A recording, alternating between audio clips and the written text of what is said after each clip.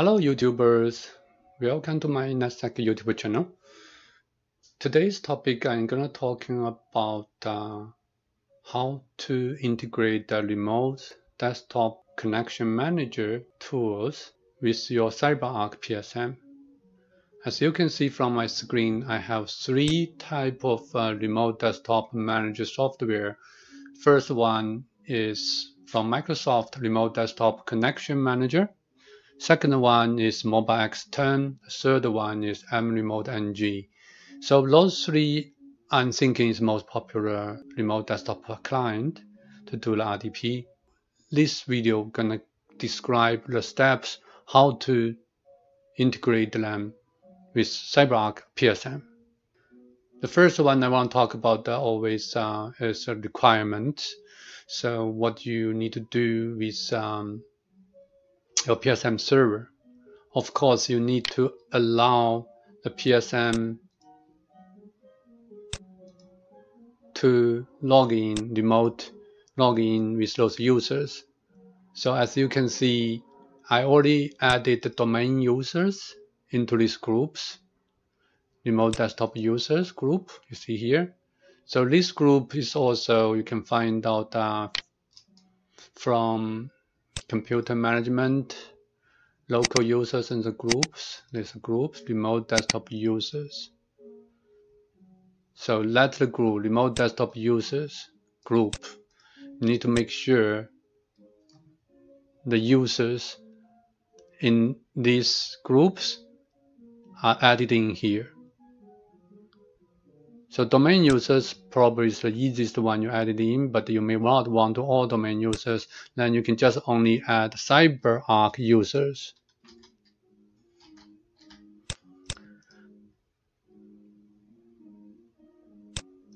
So CyberArk users, which is the users can log into PVWA. In that way, you can remove domain users from here. So to limit it, the users who can access your PSM right? Um, a pre-requirement.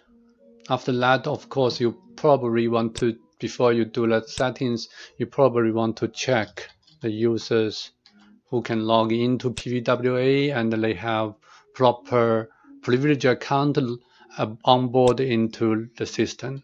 So that's gonna be checked out from PVWA server.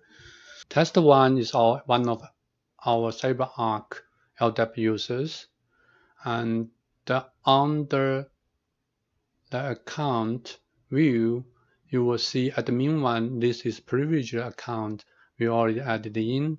So basically what that we can do is we can using PVWA to log into remote machine. So this RDP file gonna be created and then launch the RDP session to PSM and PSM launch the Canada session to the destination. That's exactly what the PVWA connect button will do. So we verify that and it is working fine and we're gonna do it through our RDCM. This is a remote desktop connection manager to version 2.7 from Microsoft.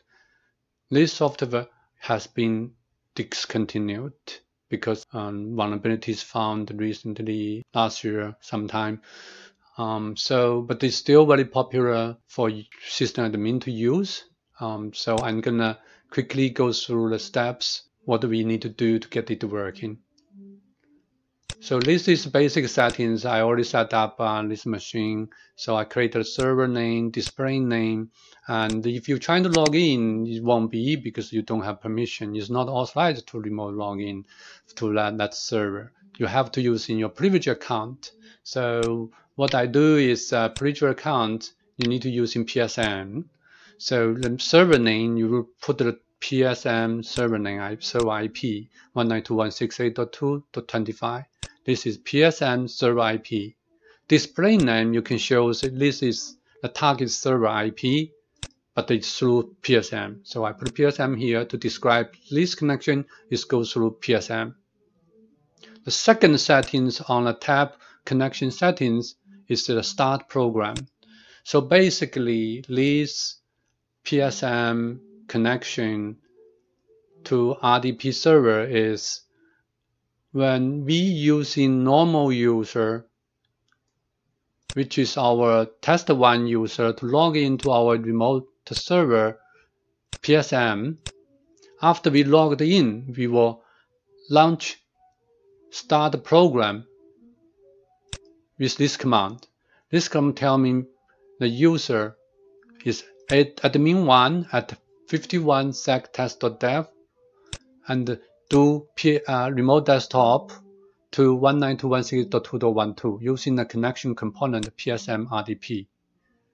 So that this command means once you logged in to PSM server using test1 account, then they will launch a command to use privilege account admin1 using connection component PSM RDP to RDP to your remote desktop, remote target 192.168.2.12.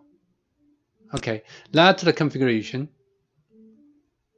Uh, don't forget you need to have proper login credential test one. You only need to put the test one username and password here. After you did those three steps, first step, server settings, second connection settings, third step is login prevent credentials. Then just do connect server. There was one warning, it's okay, I accept that.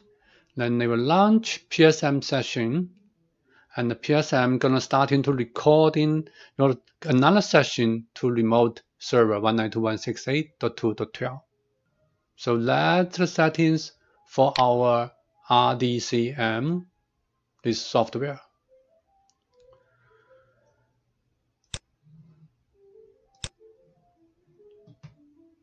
Second software I'm going to talk about is Mobile Xterm.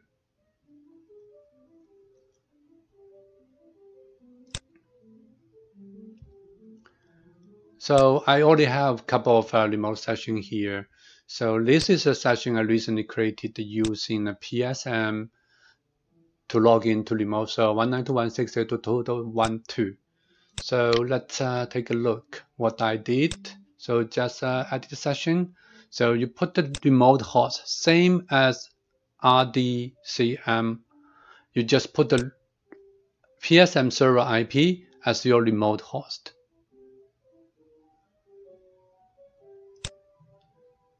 Second thing you need to do is remote command.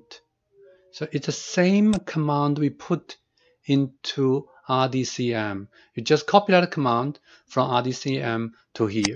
It's exactly same command. After you did that, the third step is the username. So I created the test1 username and password saved in the credentials here. So let's add it. So you need to follow this username name convention to put it in. First is your domain name. Second is your username and then password. It doesn't support it using test1 at domain name, that format. It has to be domain name slash username.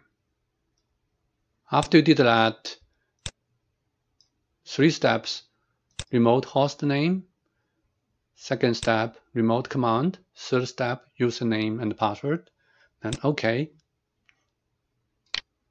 Then you can do connection.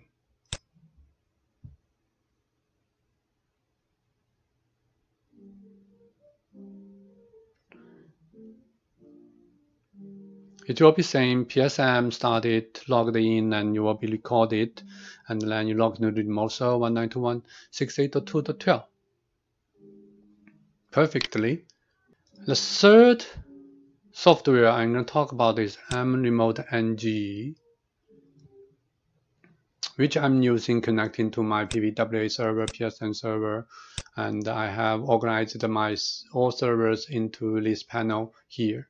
I was wondering I can make it working as I did for uh, MobaXterm, But unfortunately, if I look at the settings here, mRemote-ng doesn't support shell script, doesn't support the start command.